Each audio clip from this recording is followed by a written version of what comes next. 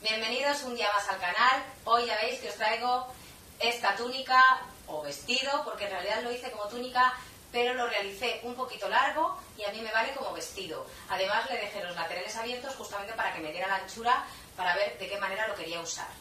Tú simplemente tienes que hacer vueltas de cuadrados como estás viendo aquí y vas a hacer tantas vueltas que vas a ir uniendo de manera que consigas el largo de la prenda.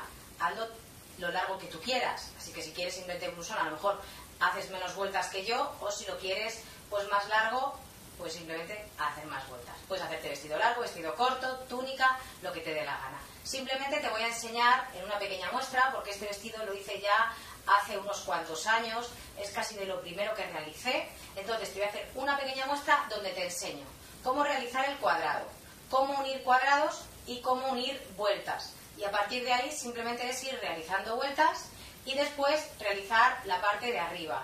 Para esta parte también te lo voy a mostrar en, la pequeña muestra que he hecho y bueno, pues es muy facilito. Tengo que deciros que yo en un principio este, esta túnica la hice siguiendo un patrón de una revista y la hice pues tal cual venía en el patrón. Es decir, que esto iba como muy cerrado y de aquí como que sobresalía un poco.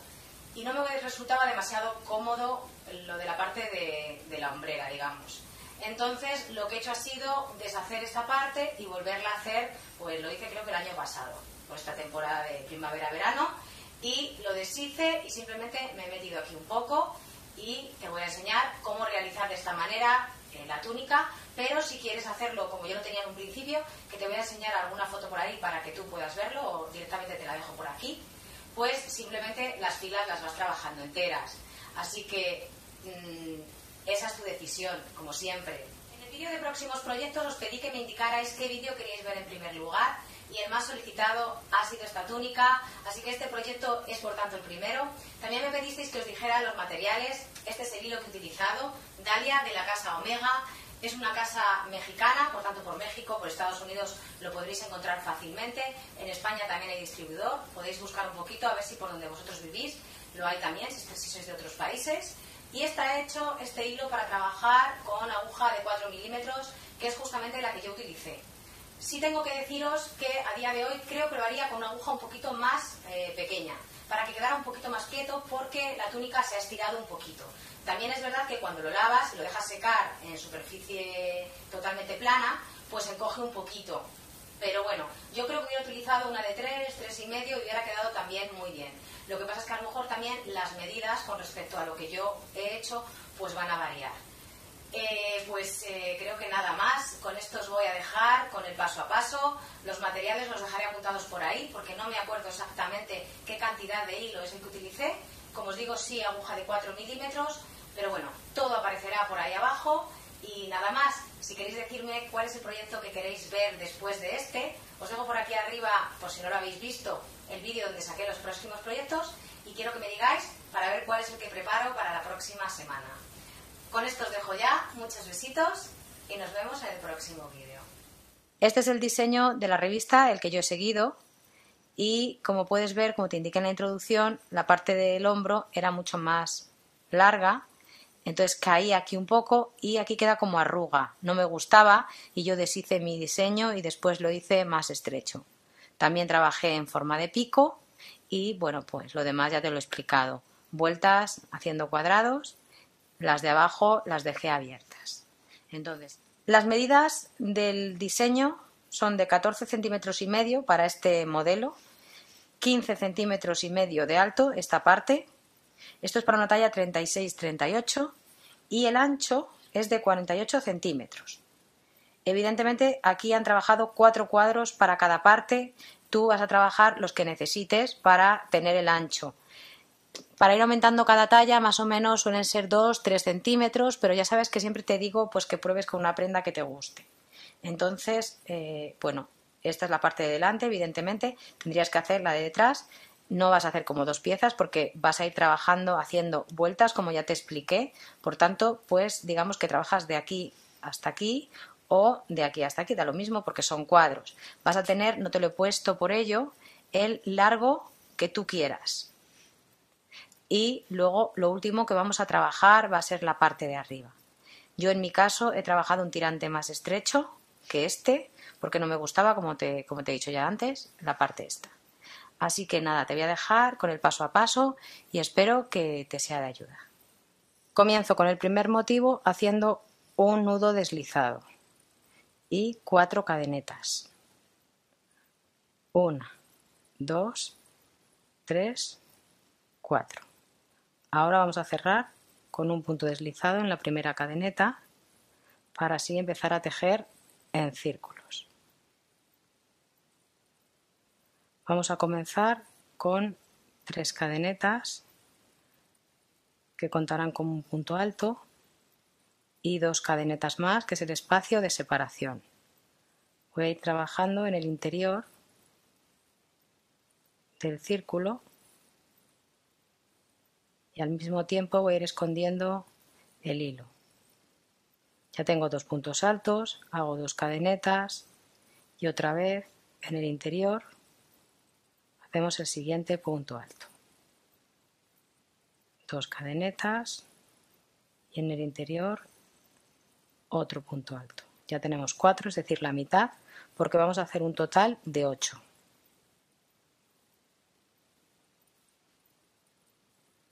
Cinco, seis,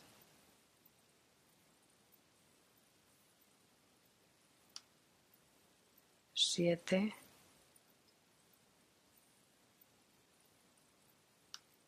y el último punto alto 8 ahora hacemos las dos cadenetas de separación y realizaremos un punto deslizado en la tercera cadeneta para cerrar esta vuelta.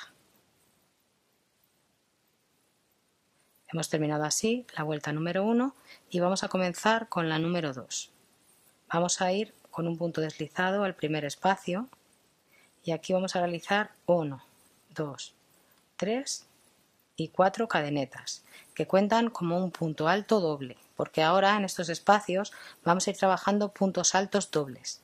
Así que doy dos vueltas de hilo en la aguja y trabajamos punto alto doble en el mismo espacio.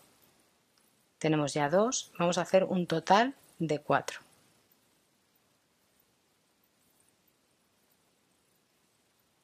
Tres,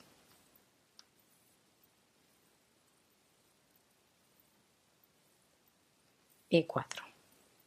Aquí ya hemos trabajado el primer grupo, así que nos vamos a ir a trabajar en el siguiente espacio. Pero entre medias vamos a hacer una, dos y tres cadenetas y ahora nos vamos al siguiente espacio donde haremos, eh, cogemos perdón, dos hebras y hacemos otra vez otros cuatro puntos altos dobles. 1, 2,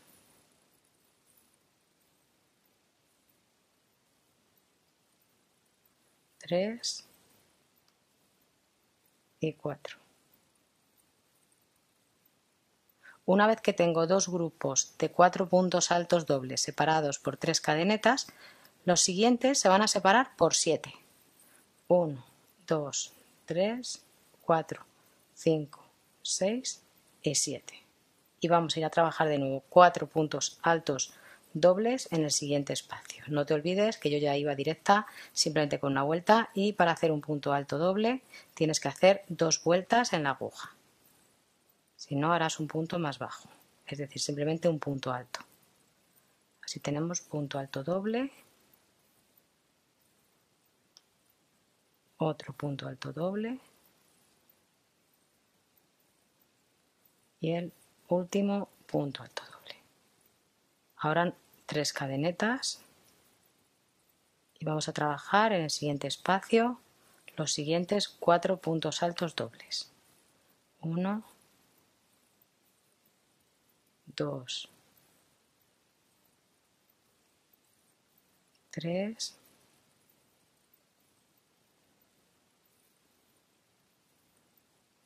4.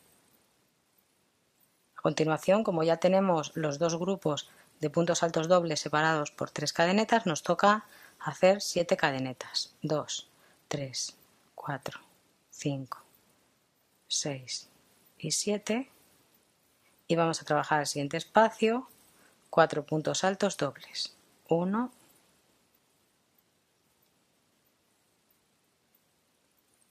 2, 3 y 4. A continuación seguimos haciendo tres cadenetas, 1, 2 y 3 y continuamos con el siguiente grupo de cuatro puntos altos dobles. 2, 3 y 4. Ahora ya nos toca hacer de nuevo las 7 cadenetas.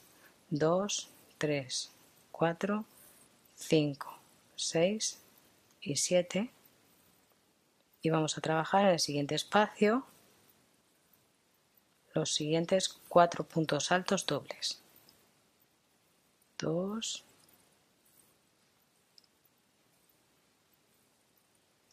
3 y 4.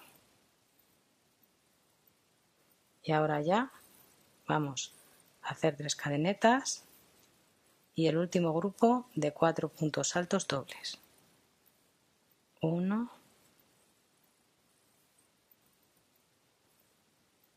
2,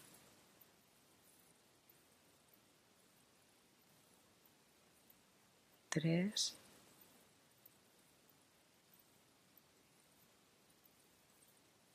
y cuatro,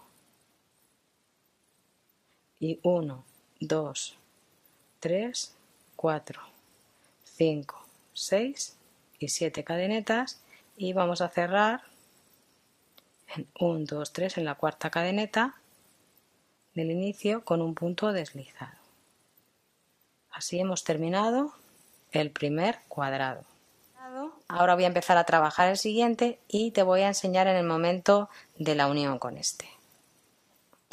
Ahora te voy a enseñar cómo unir cuadrados. He avanzado otro cuadrado para mostrártelo. Entonces, siempre nos vamos a ir uniendo en los espacios de las cadenetas.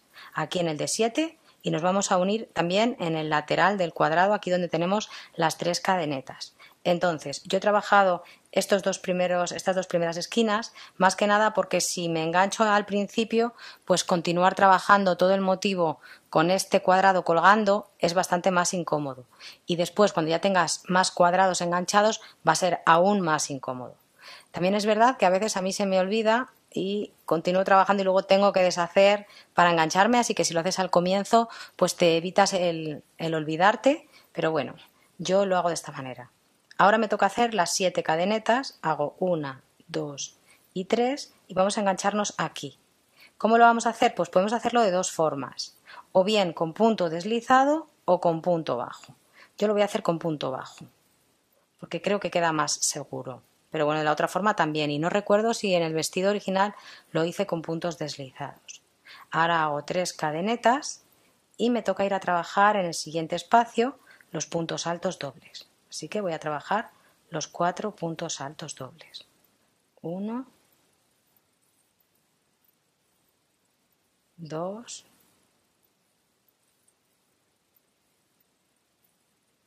tres y cuatro. A continuación, tres cadenetas que son las del lateral y me vengo aquí para que veas cómo me engancho. He hecho una ya y de la misma forma que me he enganchado en la esquina, pues ahora aquí lo hacemos en el lateral.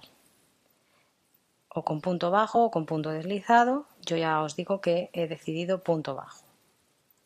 Y ahora una nueva cadeneta y venimos a trabajar los cuatro puntos altos dobles que me corresponden en el siguiente espacio. Uno, dos,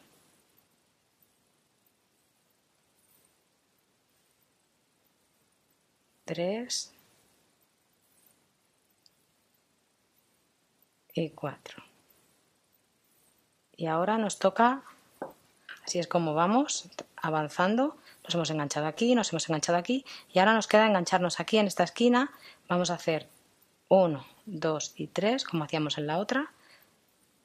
Punto bajo, 1, 2 y 3 y venimos a trabajar en el motivo los cuatro puntos altos siguientes, puntos altos dobles.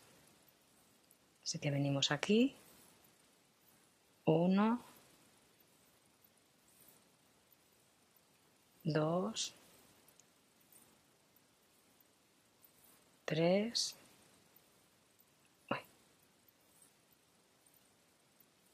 y 4.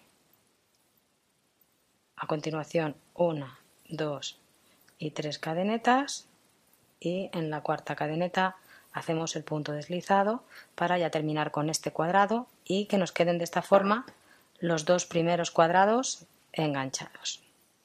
En mi túnica yo he hecho 5 cuadrados para la parte de delante y 5 cuadrados para la parte de atrás y un total de 7 filas de cuadrados y la última fila la dejé sin unir en este cuadrado en el lateral para que quedara abierto y diera un poquito más de anchura. Yo ya he trabajado dos cuadrados y los he unido, voy a trabajar un tercero y te voy a enseñar cómo unirlos. Voy a hacer lo que es cerrar la vuelta.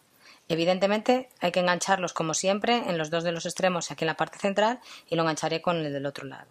Así que empiezo con una, dos, tres cadenetas y el punto bajo. Una, dos, y tres cadenetas y me toca hacer el grupo de cuatro puntos altos dobles. Uno, dos, tres y cuatro. Ahora hacemos el lateral, las tres cadenetas, una, voy a engancharme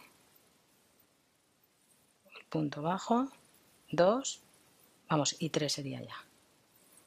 Y entonces ahora hacemos de nuevo los cuatro puntos altos dobles. 1, 2, 3 y 4.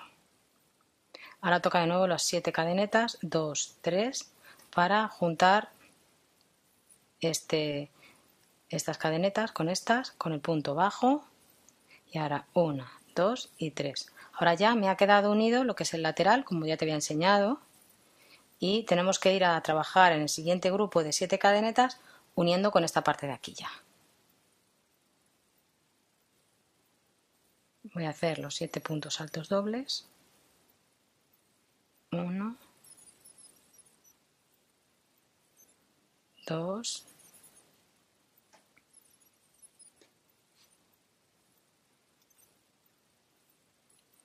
3 y 4. Ahora toca 3 cadenetas y otros 4 puntos altos dobles. 1, 2, 3 y 4. Nos corresponde hacer ahora las 7 cadenetas y es el momento de unir con el otro lateral, así que me lo dejo ahí colocado y empiezo una, dos y tres cadenetas. Y en la cuarta y ya podemos ir aprovechando para enganchar los hilos hago 4, 5, 6 y 7 y me vengo a trabajar en el siguiente espacio los cuatro puntos altos dobles. 2,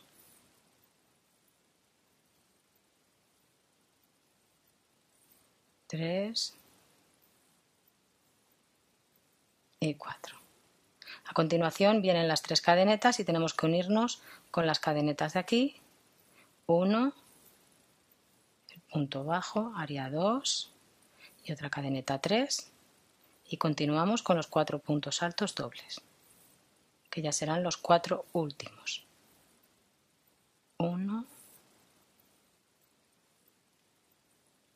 2,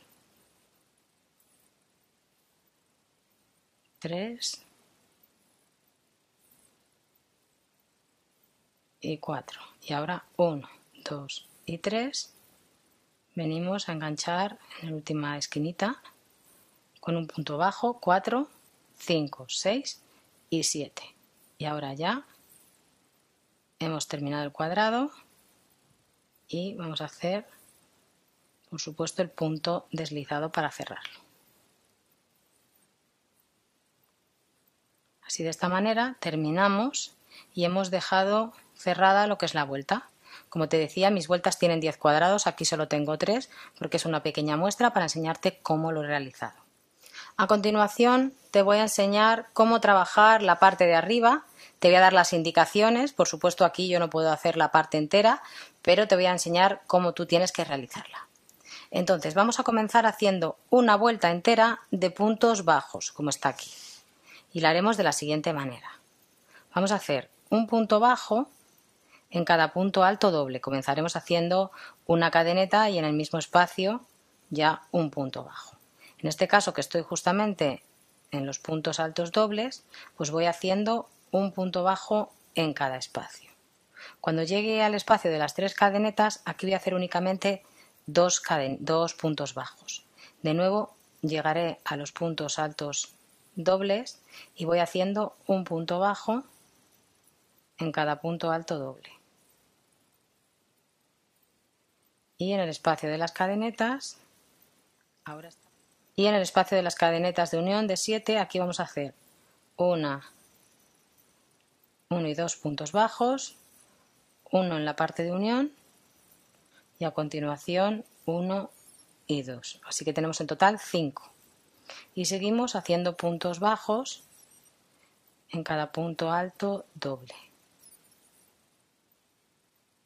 Este espacio 2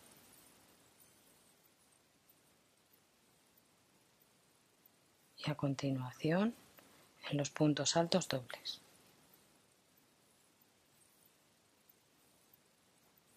Uno y dos en el espacio de unión tres y a continuación otros dos, cuatro y cinco.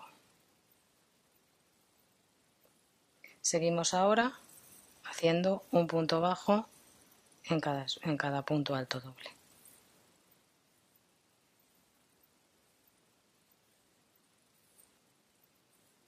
Uno dos.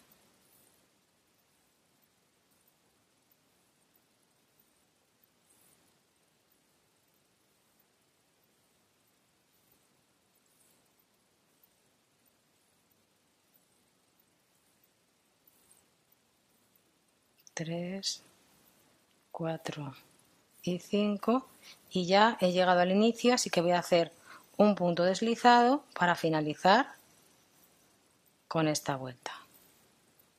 La vuelta número uno de lo que es la parte de arriba de los tirantes ya. Entonces ahora vamos a empezar haciendo tres cadenetas que van a contar con un punto alto una, dos y tres y a continuación un punto alto. Después vamos a hacer una cadeneta de separación, nos vamos a saltar un espacio y haremos otros dos puntos altos seguidos. De nuevo, cadeneta de separación, nos saltamos uno y dos puntos altos. Otra vez, cadeneta, nos saltamos un espacio, dos puntos altos. cadeneta, me salto un espacio, dos puntos altos, cadeneta, me salto un espacio y dos puntos altos. Seguimos así toda esta vuelta. He llegado al final de la vuelta número 2 y voy a cerrar con un punto deslizado en la tercera cadeneta. A continuación lo que voy a hacer va a ser levantar una cadeneta hacer un punto bajo en este punto alto y punto bajo en el siguiente. En el espacio de la cadeneta, punto bajo y sobre cada punto alto doble, un punto bajo. Es decir, vamos haciendo punto bajo en cada espacio. Así vamos a ir haciendo a lo largo de toda esta vuelta número 3.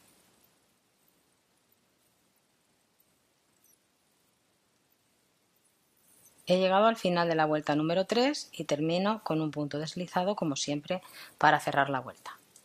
En este momento ya lo que hice en mi trabajo fue separar la parte de delante de la de detrás. Entonces vas a calcular justamente la mitad. En mi caso eran 5 cuadrados. Aquí como solamente he hecho 3, pues me quedan impares y tengo que hacer, eh, bueno, pues pues uno dejarlo como a medias, ¿vale? Esto no lo vas a hacer tú, pero yo es para mostrarte cómo he ido trabajando. Entonces, ahora lo que vamos a hacer va a ser repetir las vueltas 2 y 3 dos veces, de punta a punta, ¿vale? Que va a ser justamente lo que le va a dar esta altura de aquí. Dos veces repetir los puntos altos con su correspondiente vuelta de puntos bajos. Y a partir de ahí lo que haremos será ir trabajando este ya eh, lo que es el pico y lo que es la sisa. Entonces, empezamos haciendo cuatro cadenetas que cuentan como, digo, tres cadenetas que cuentan como un punto alto. Y a continuación, en el siguiente espacio, punto alto. Una cadeneta de separación, nos saltamos el punto bajo y otros dos puntos altos. Cadeneta, me salto y dos puntos altos. Así vamos trabajando hasta llegar al otro extremo, que en mi caso, como es una pequeña muestra, pues va a ser rápido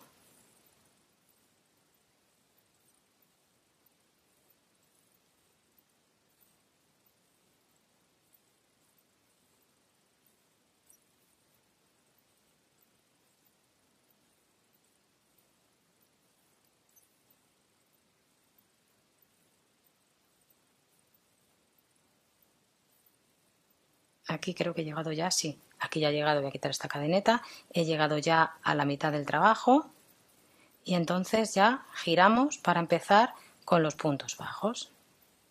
Así que levanto una cadeneta y en el mismo espacio punto bajo y voy haciendo punto bajo en cada espacio.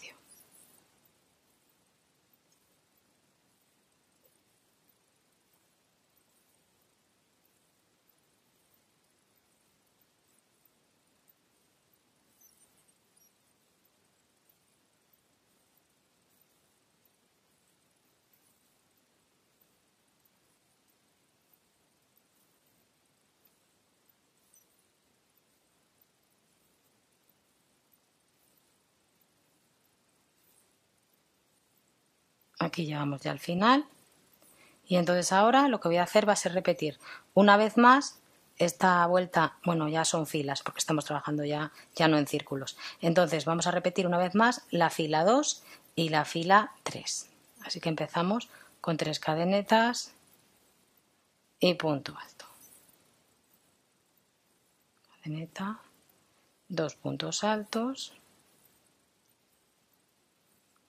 cadeneta,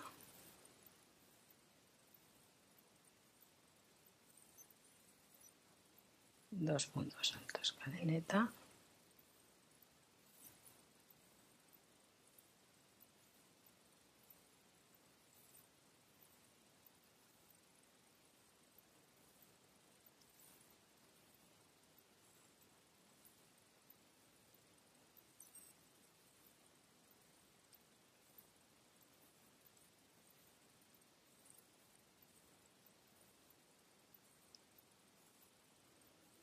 Así he repetido ya esta vuelta, ah, me queda ahora la de puntos bajos, antes de empezar a realizar el pico y la parte de la sisa. Así que vamos a hacer la fila de puntos bajos. Vamos haciendo un punto bajo en cada espacio.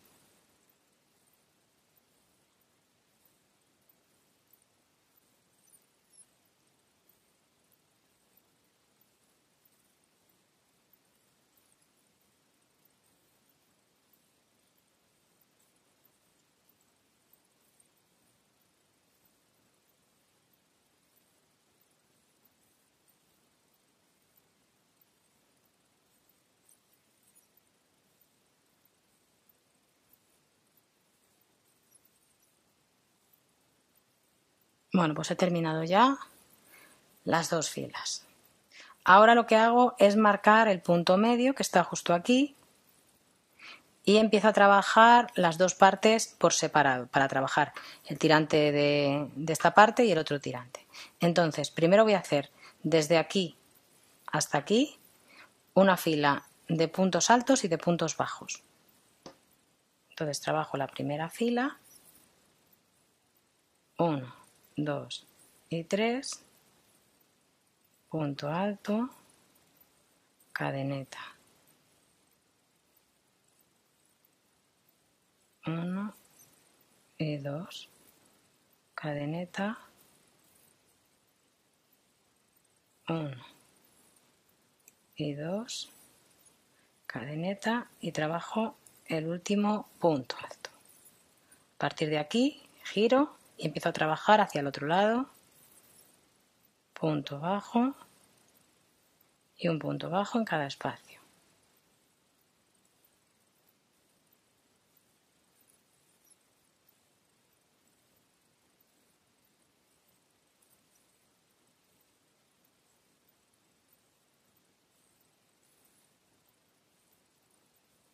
Ahora ya voy a empezar a trabajar la sisa, así que voy a hacer puntos deslizados. Hacer dos y me sitúo aquí. Me salto estos dos puntos altos, me sitúo en el tercero, hago tres cadenetas. Y en el siguiente otro punto alto. Yo tengo que decirte que en mi trabajo original me he saltado dos grupos de dos puntos altos, así que empezaría como en este, pero para que puedas ver un poquito más. De todas formas, siempre sabes que si utilizas otro hilo o que utilizas otra aguja, pues tus medidas van a cambiar, así que aquí puedes saltarte más o menos puntos altos, pero es para que veas la manera de realizarlo. Puntos altos, cadeneta y el último punto alto. Ahora voy a hacer la siguiente fila y en este caso empiezo haciendo un punto bajo. En vez de hacer punto bajo en el espacio y luego en el espacio de la cadeneta, directamente me paso aquí para saltarme ya ese punto alto para luego menguar. Así que voy haciendo un punto bajo y aquí dejaremos sin trabajar el último punto alto para ya hacer también una disminución. De esta manera vamos disminuyendo de un lado y del otro. Así que haremos tres cadenetas que serán las de este segundo punto alto y la cadeneta de separación y continuaremos trabajando sobre los siguientes puntos altos. Y en este caso habríamos terminado porque nos saltábamos este. Así de esta manera vamos a ir disminuyendo. Y en el caso de mi túnica Evidentemente, pues lo que he ido haciendo ha sido lo mismo todo el tiempo. Simplemente me voy saltando un espacio, un punto alto de cada lado y un punto alto de aquí hasta que yo tenga el ancho que quiero del tirante y entonces continuaré trabajando simplemente filas haciendo el mismo número de puntos altos y de puntos bajos. Para la parte de detrás yo, en este caso, lo que hice, en vez de separarme tan pronto, fue seguir trabajando filas. Sí que fui estrechando de aquí para que me dé la parte de la sisa, pero eh, para no hacer tanto escote, lo, lo que hice fue trabajar filas enteras y entonces un poquito más arriba es donde empecé a trabajar por separado. Pero lo hice ya dándole el ancho del tirante directamente. Así de esta manera no tenía que ir haciendo disminuciones. Ya simplemente era ir trabajando todas las filas lo mismo. Puedes hacerlo como yo lo he hecho por delante o puedes hacerlo diferente. Eso ya depende de ti. De esta forma es como me ha quedado la parte de detrás. Como puedes ver, pues aquí todas las filas tienen la misma medida. Espero haberte servido de ayuda para poder realizarte un blusón tan bonito como este.